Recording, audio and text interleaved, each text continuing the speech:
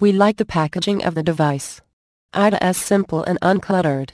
Inside, you get the slim dongle and an installation guide.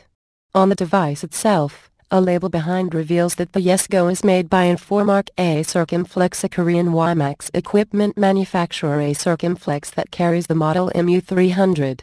A quick check at the Informark site reveals the MU300 Go looks remarkably similar to the MU100 dongle that Informark advertises. We are not sure what the differences are between the two but we will try to find out.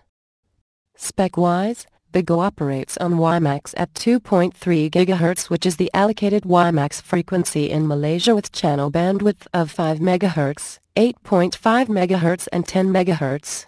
The device has a rated download peak speed of 30 megabit per second and uplink of 6 megabit per second.